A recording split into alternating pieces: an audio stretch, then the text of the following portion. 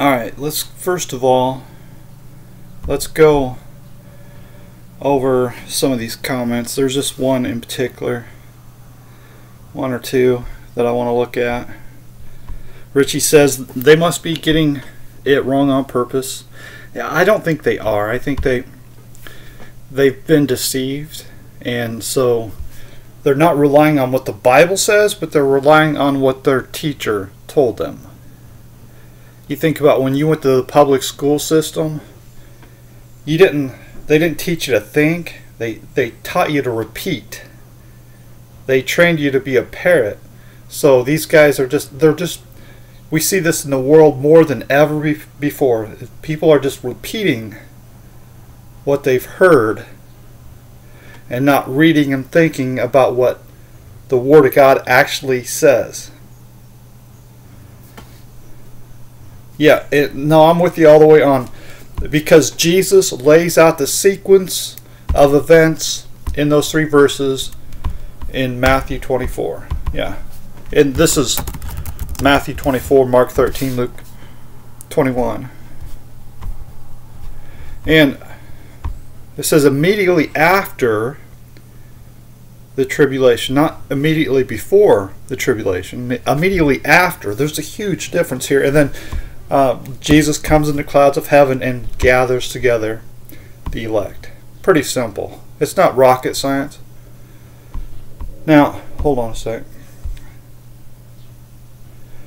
So, okay, hold on a sec.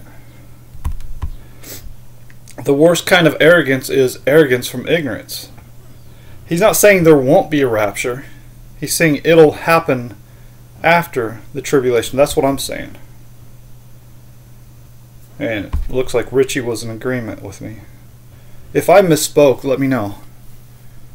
Uh, I, you know, I apologize for that, but that that is possible that I misspoke. I don't remember him saying, it doesn't matter. The very first verse you shared says so.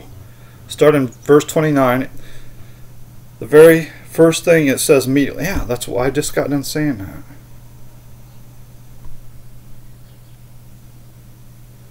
Not saying you are, but people usually confuse the tribulation with God's wrath. Those are two different events. I, I agree. I that's yeah, yeah. Did I misspoke? Not sure. Doesn't matter. Not saying you are. Okay, so, brother, don't be foolish because he went to Bible college. The problem I have is not just with him. And I probably didn't make this clear either. It's people in general that say, oh, when I was a snot nosed teenager, I went to Bible college, therefore I know more about the Bible than you do. I have a problem with that attitude. A serious problem. Because when you're a snot nosed teenager and you're going to Bible college, you're not learning the Bible. You're be, you're learning to parrot a teacher. That's the the whole issue I have with the whole. I mean, if you want to learn the Bible, read the Bible. You don't get special knowledge by going to the Bible colleges. The special knowledge is in the Bible. And it you obtain special knowledge by having faith that the, what you're reading is the Word of God. Nothing at all. And I see this is the problem. People say, "Well, oh, well, so and so went to Bible college. What'd you do?" Well, I was smoking dope when they were going to Bible college, but I've changed. I've turned my life around. I've committed myself to reading the Word of God. And you can't tell me that I can't know more or I can't know yeah, I can't know as at least as much of the Bible as somebody that went to Bible college when they were a snot-nosed kid. They don't have an advantage over me, and my point is they don't have an advantage over you. Don't take anybody's word for anything. Trust God, trust the Word of God. So, and look, this is not about one person. I've seen this uh, numerous times, and yeah, I do have a huge problem with people using that against other people. Oh, I went to Bible college. I know I got special information. No, you don't. In fact, it, it's real simple. If you want that extra knowledge, then have extra faith. All right? It's always been about faith. Without faith, you can't understand anything in the Bible.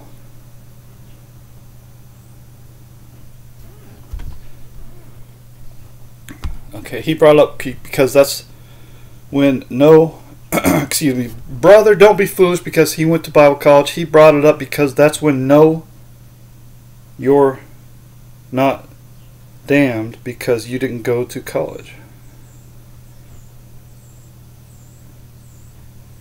I don't understand that.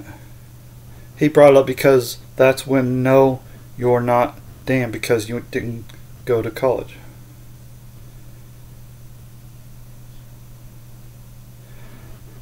He brought up because that's when no, you're not damned because you didn't go to college.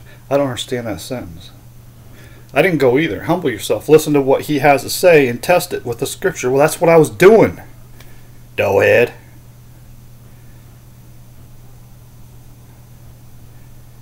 his beliefs are stupid, and I, that that's what I, my point is. Is that people aren't trusting what the Word of God says. They're putting their trust in what their teachers have taught them. Okay, I, am not sure. I, I wish, I, maybe I misspoke. Maybe there's some sort of confusion. It seems like because I think that was the point that I've always made is that people do confuse tribulation with the rapture or I'm sorry, tribulation with the wrath of God. The trib the tribulation spoken of in Matthew 24 is not the wrath of God. And I've tried countless times to try to see this as, uh, you know, like, for then shall be a great tribulation. I, I've tried to envision this possibility. Well, hey, maybe that is the wrath of God. I, and it, it can't be. If any man shall say unto you, Lo, here is Christ. See, this has to be during the, this tribulation. This has to be a warning, or at least, at the very least, a caution. Hey, that there are gonna, this is gonna happen, and so this is directed to those of us that are saved. This, this is not a zombie period. And that's the only, if you consider this to be the wrath of God, then you must consider this to be a zombie period. And written in vain because none of this would matter. It, it just it doesn't make any sense at all. I can't understand how somebody could be so cross-eyed on that on the very simple scripture. So anyways. All right. And so uh, there's something I want to get into uh, Richie said he watched the movie Left Behind for first time for a good laugh. It's complete fiction. Yeah and so it's incredible I remember when I was a kid hearing about this Left Behind movie, and then people uh, saying that's not Christian, it's not supported by the Bible. I heard somebody say it. I don't know who. It must have been on TV though. Now it seems like it's an accepted doctrine by 90 plus percent of every teacher in the world. That's it seems like. It's insanity. All right. So anyway. I wanted to go over this video. Here I'm not even gonna I'm not it's an hour. I'm just gonna judge everything based on this goofy image right here. The resurrections and judgments. Alright so this thing is I'm gonna just point out well, first of all, let's identify it a little bit. First coming priesthood, judgment of the believer. for works. That's not in the in the Bible anywhere. That's completely made up. I mean, or at the very least, it's a misunderstanding. So you think your good deeds, you're good. Well, I did more than you, so I'm going to get, uh, you know, I'm going to have a bigger palace in the kingdom that is to come. I'm going to have a nicer car than you because I did more work than you here on earth. And I'm going to have a Rolls Royce and, you know, gold watches and fancy stuff. Meanwhile, you, you didn't do nothing, so you're going to live in a box under a bridge. No, that's not, that's not in the Bible. That's not in the Bible anywhere. And fact, there's the parable of hey, these guys worked their butts off for like 12 hours. And then uh, some guys came in and worked for one hour. And they all got paid the same. And right here, Matthew 20. And when they came that were hired about the 11th hour, they received every man a penny. And they're like, whoa, wait a sec, we've been busting our butts off all day. And these guys, they come in at the last minute and get paid the same? Where's that at? I mean, come on, fellas. Does anybody read their Bible anymore? Yeah, I think people do read their Bible, but I just don't think they believe what they read. I really, I, I mean, I really believe that because I think that what they're doing is they're saying, oh, penny. Well, let's go to the Chinese or the Indonesian language or the Greek language or even the Hebrew language and let's try to twist this into meaning something the complete opposite. I really believe that. I think that's what's going on. So, anyways, uh, but when let's see, and when they they came that were hired about the 11th hour, they received every man a penny, but when the first came, they supposed that they should have received more. And they likewise received every man a penny. Consider this when you've been a believer since you were a snot nosed little kid. And come the resurrection, you're going to have the same reward as those that believed 10 minutes before Jesus Christ came and were saved. 10 minutes. And they were old men that believed in Jesus Christ. Just, I mean, they wicked old men who lived their life in filth, all of a sudden had a change of heart, and then the next thing you know, Jesus is coming in the clouds of heaven and they're resurrected. You, since you're a snot nosed little kid, you've been serving the Lord. Well, you're both getting the same reward. You're not getting more. You're not getting a big mansion, fancy cars, and gold watches, while that guy's going to get a box living under the bridge. That's not how it works. You're getting the same reward.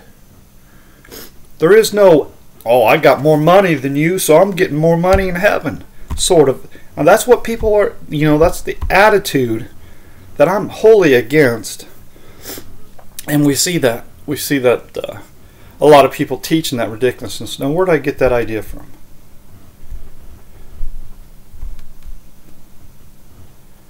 All right. So, anyways, okay. Oh, uh, I was talking about uh, the judgment for of the believer for works. All right, and that's um. So the works that you do are not your own, but what Jesus does in you, and so you don't get the glory; He gets the glory. Uh, it's just like with Abraham, you know, he has to, you know, wear of the glory, right? When the, for the good works that he did. For if Abraham were justified by works, he has whereof the glory, right? But not before God. All right. Second coming. So this is, you know, this is just a jumbled mess. It really is. It doesn't make. I can't make sense of this. The judgment of the Jews. You got the judgment of the believers. for works. That's the judgment of the Jews at the second coming. That's not in the Bible either. There's not two ways to heaven. There's not the Christian way and the Jewish way. And you know, again, I, I just I wonder if people even read the Bible. Uh, they have to be reading it. They're just not believing what they're reading. I honestly, sincerely believe that. Alright, for we wrestle not against flesh and blood. Now this I say, brethren, that flesh and blood cannot inherit the kingdom of God, neither does corruption inherit incorruption. And he has made one nation, or I'm sorry, he has made of one blood all nations. Excuse me, I said that all goofy. And has made of one blood all nations. So there's no special DNA that some people will suggest, all right? And then, yeah, see, this doesn't make any sense. The judgment is are you saved or are you not saved? That's the judgment there's not multiple judgments. It's a real simple judgment, and it's this is all throughout the Bible. Are you saved or not saved? It's not whether you're a good person or a bad person. If that were the judgment, nobody would get saved. Seems like it just seems like no, people have no idea what the Bible says anywhere at all. For God has concluded them all in. Oh, well. Uh, that's not what I was looking for. But. That, okay, well, okay, no, maybe that, well, that'll fit, though. Here, for God has concluded them all in unbelief that he might have mercy upon all. Uh, all that, so those of us that do believe and are born of the Spirit of God, God is having mercy, has mercy on us, right? Go and learn what this means. I shall have mercy and not sacrifice. All right, Galatians 3:22 but the scripture has concluded all under sin that the promise by faith of Jesus Christ might be given to them that believe. All right, not it's not the promise by faith of Jesus Christ might be given to them that are a good person. Now, I've actually heard people say, well, if you do more good than bad, or more good than evil, or whatever, then you're going to heaven. Hey, that's great. That would mean everybody that's ever lived is going to heaven. Sounds fantastic, but it's not true. Fact of the matter is, if it's based on good and bad, we're all bad, and we're all going to hell. Oh, there's only one that's good. Why callest thou me good? And see, this is what I mean when I hear people talk, I wonder if they ever read the Bible. And he said unto them, What callest thou me good? There is none good but one, that is God. All right, so, and the, I think the part that gets overlooked by uh, some people is that Jesus isn't saying that he isn't good. He's just asking the question, why he called me good? Because he, Jesus, is God Almighty. There's none good but one, that is God. All right. He didn't say, well, I'm not good. What are you talking about? I'm not good. No. He's God. All right. So here we've got the judgment of the believer, judgment of the Jews, judgment of the nations. People aren't smart enough to connect the dots and realize this is all the same judgment. Are you saved or are you not saved? It's not like, well, the United States is going to get judged, and then the Chinese are going to get judged, and Mexico's going to get judged, and if your nation's a good nation, you're going to get saved. That's not that's not how it works at all. It doesn't make any sense. There's no reason to make this.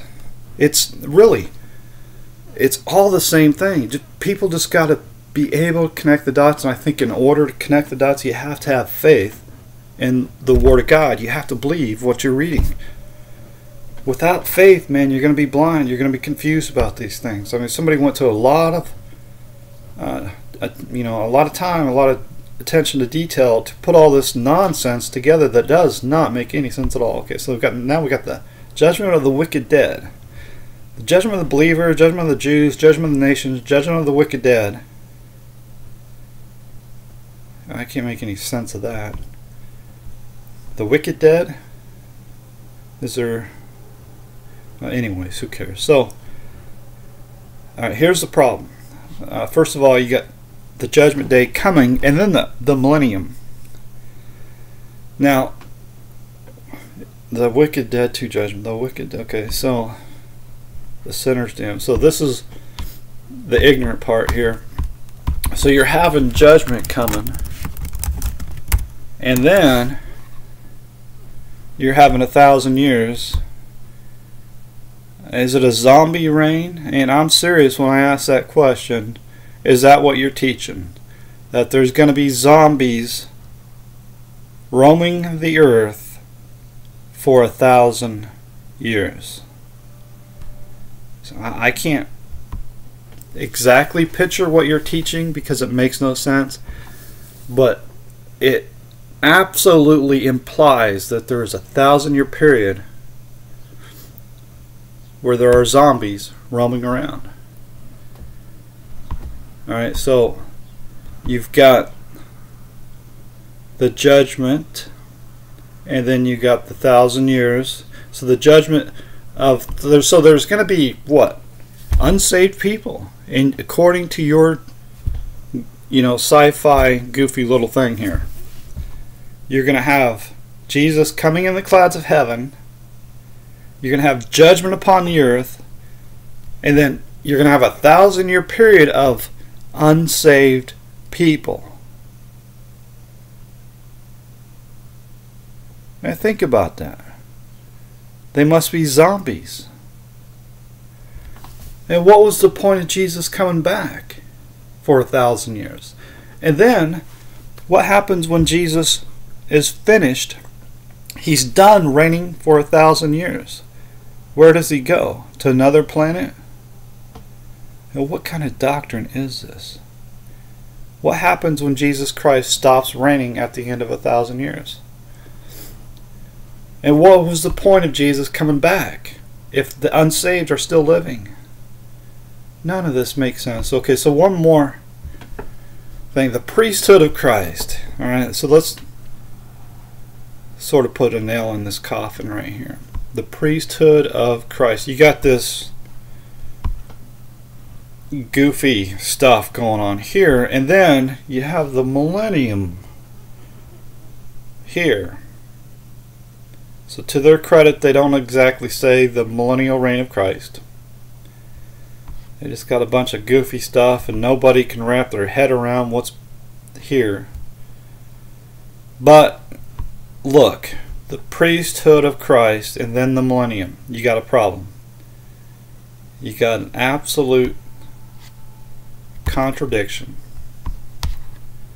in the scripture.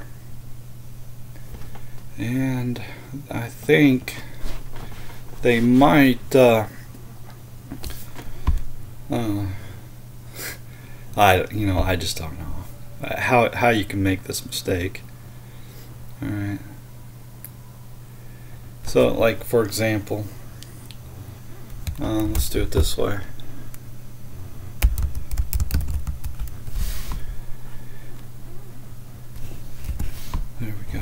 Okay, so blessed and holy is he that has part in the first resurrection. On, on such the second death has no power, but they shall be priests of God and of Christ, and shall reign with him a thousand years. So, clearly, during this thousand year period, they are priests of God and of Christ and reign with Jesus Christ during this thousand years. So, uh, very simply, if you're saved, Christ reigns in your life right now.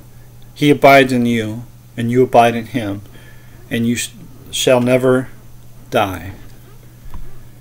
Uh, you have everlasting life. So, if you are saved, you are called to preach the gospel to every creature.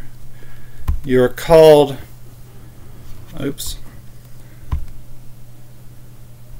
You are a uh, a royal priesthood, right? Let's go to this here. First Peter chapter 2 verse 9 but ye are a chosen generation that means you are chosen of God. God has chosen you. Doesn't matter if you chose God. What matters is God chose you and ordained you. A royal priesthood. You are a royal priesthood right now. It's not in the future. The devil might want you to think, well, you're not a royal priest, or you're not a priest of God right now. You, you will be in the future, but right now, you're not. That's what the devil would tell you. That's not what God is telling you. A royal, you are a chosen generation, a royal priesthood, and holy nation. He's talking about people that believe in the Lord Jesus Christ, people that are saved, people that are born of the Spirit of God. We people are the holy nation of God. They shall be priests of God and of Christ and shall reign with him. Blessed and holy are those of us that are saved because the second death has no power over us. Remember what Jesus says? He that believeth on me shall never die. Believest thou this? And whosoever liveth and believeth in me shall never die. Believest thou this? Shall never die. The second death has no power over you. None at all. Now, fear not them that can kill the body and not the soul fear him which is able to destroy both body and soul or I'm sorry destroy both soul and body in hell. That's God. Fear God. Don't fear them. All right? Fear God because he's able to do that. Now of course when we are born of the spirit of God we are promised and guaranteed that we shall never die and um and uh, the the second death. Okay so our body will die once and but then our soul will die if we're not saved and that's what happens to all the unsaved wicked people that they their soul is killed destroyed forever and ever and there's nothing worse that could ever happen to them than that right there all right. So uh, the second death has no power over us right now. I mean, you could take a sledgehammer and beat my brains out. You're not going to kill me. I'm like a zombie, man. Well, not exactly. Right? Because I won't come back until He comes back. That is the Lord Jesus Christ. Alright, so He's promised us eternal life. He's promised us the resurrection. Okay. So, and we are peculiar people, that ye should show forth the praises of him who has called you out of darkness into his marvelous light. So, uh, it says, Oh, priesthood of Christ. We are a royal priesthood. This extends all the way to the end of the world and beyond. So, if Jesus reigns forever, then we reign forever. Right? Oh, what's the oops? What's the Luke 133? Is that the one I'm looking for? Let's find out. And he shall reign over the house of Jacob, that's us, those that are saved. Make no mistake about it. This is not rocket science. This is very simple stuff. And he shall reign over the house of Jacob forever. And his, of his kingdom there shall be no end. That right there alone completely and utterly destroys the idea that Jesus Christ reigns a thousand years. This is a wash. This is complete nonsense. This is not. This is um, buffoonery. Really, it's nonsense. Just you know this, and this is what people love to do. They love to make these very articulate, you know, very nice. Uh, I mean, look at who could draw that good. I can't draw that good. I have hard time drawing stick figures. But people are really artistic, very detailed, and it looks nice, man. But it's not true. And look, the Bible is very simple. So you had uh, the the birth of baby Jesus from the Virgin, which was prophesied in the Old Testament. Right, you go back to like Isaiah nine. Right, unto us a child is born. Oh, I'm gonna make this real simple, real quick, real simple. Let's go to Isaiah. Unto us a child is born. Unto us a son is given, and government shall be upon his shoulder, and his name shall be called Wonderful, Counselor, the Mighty God, the Everlasting Father, the Prince of Peace. That's talking about the Lord Jesus Christ. And then, of course, I guess I should better cover this part here in Isaiah. We're going to have to do this again. Isaiah 7. Therefore the Lord himself shall give you a sign. Behold, a virgin shall conceive and bear a son, and shall call his name Emmanuel.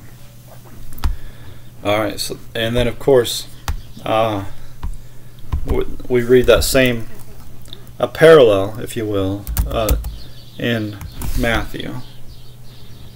That same thing. Matthew 1, verse 23 Behold, a virgin shall be with child, and shall bring forth a son, and they shall call his name Emmanuel, which being interpreted is God with us. So Jesus is God with us. He is the Christ, the Messiah that was prophesied all throughout the Old Testament, and He has come, and uh, He, you know, He delivered the good news, and now uh, we that believe in him deliver the good news through him.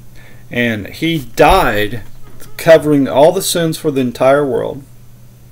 And he resurrected into eternal life that through him we can do the same.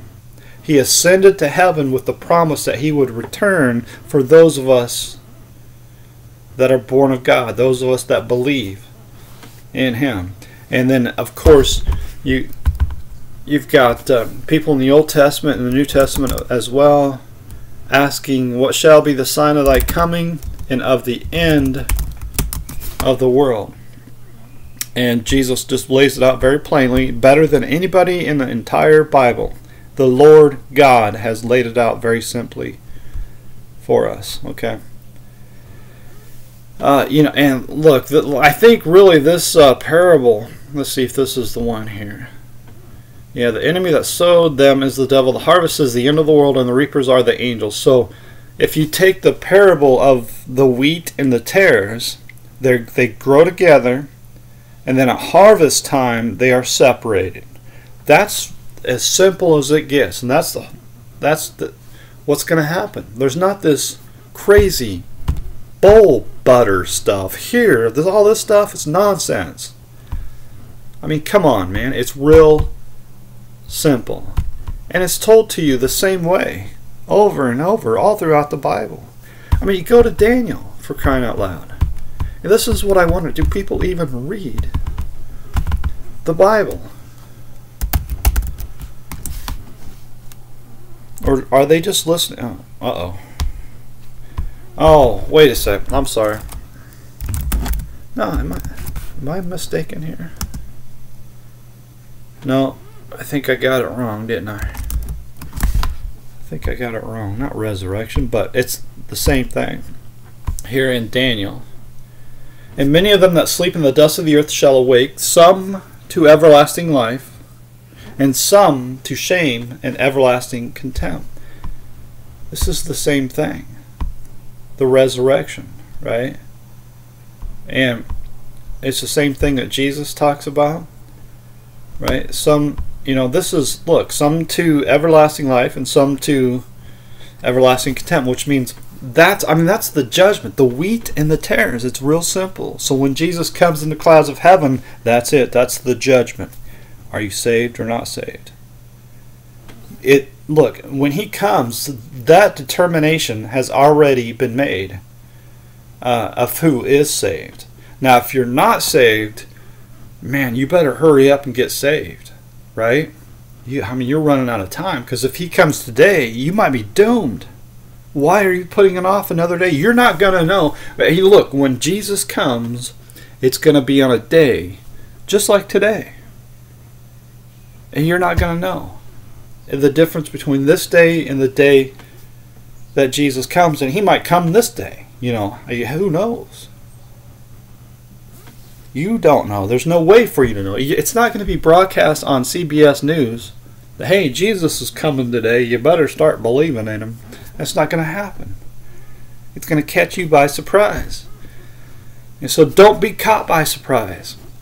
Believe on the Lord Jesus Christ. If you if you're not already saved, it's time. It's it's time. What are you waiting for? Alright, so, and, the, and again, this is very simple stuff. This is not rocket science. This is rocket science that'll lead you straight. You think it's taking you to the moon, it's going to take you straight to the bottom pits of. What's that say in Isaiah 14? You think that rocket ship is going to take you to the moon, right? No. No. It's not.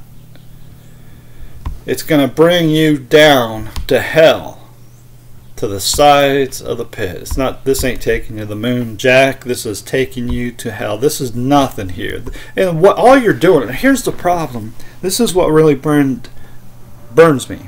Is that people are saying, just wait until Jesus comes back. When you see him come back, then you'll know without a doubt that Jesus is real. And then you can start believing in him. I've had people actually come to me and say, I'm just going to wait until I see him coming. There's no reason for me to believe in him now. I mean, how dreadful, how awful is that? And whether people uh, are honest enough to admit it or not, I think that's what a whole bunch of people are saying. Well, I'll just wait till he comes.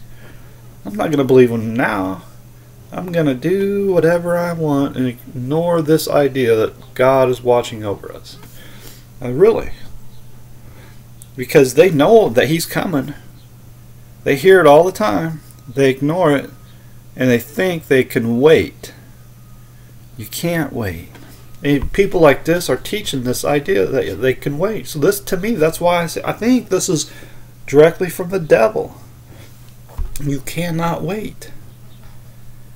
The day of salvation is today. All right, so was there one more point that I wanted to make, or is that good enough? I mean, for crying out loud, it's real simple stuff, man. Jesus comes in the clouds of heaven, and judgment is made. Are you saved or not saved? Same thing in Matthew 24. Same thing in Mark, Mark 13. Same thing in Luke 21. When Jesus comes in the clouds of heaven, it is the end of the world and judgment is made. There's a great sound of a trumpet. The angels gather together the excuse me, the elect. That's the wheat, the separation of the wheat from the tares. Right? This is this is all throughout the Bible, like, like I showed you in Daniel. Some all shall awake, or some shall awake, excuse me, some to everlasting life, and some to everlasting contempt. And that that decision to be saved is not made later. That decision to be saved is made now for those of us that are saved. God has already saved us. We are already born of God, so we have nothing to fear when it comes to Judgment Day. When Jesus comes in the, in the clouds of heaven, that's good. We're not in danger of anything at all. All right, and so that's why you know, for one, Jesus says, uh, or Isaiah says that Jesus is the Prince of Peace, and you know, uh, without Jesus Christ, you can't have any peace. And Jesus, one of my favorite passages is, "Peace I leave with you; my peace I give unto you, not as the world gives." excuse me, not as the world gives, give I unto you. Let not your heart be troubled, neither let it be afraid. If you are born of God, you've got nothing to be afraid of. You have absolute peace in the Lord Jesus Christ. Embrace the Lord Jesus Christ. You got nothing to worry about at all. Nothing at all to worry about. Now, if you believe in this nonsense, buddy, you're in trouble. Alright, so look, just get it right, man. Think about this. If you care about the end time stuff, get it right, man. It's simple. Very simple. Right? We are the wheat. We that are saved are the wheat. The enemy is the tares. That's the judgment. Are you saved or not saved? At the coming of the Lord Jesus Christ, there is judgment made. Are you saved or not saved? Are you born of God or are you not born of God? It's easy.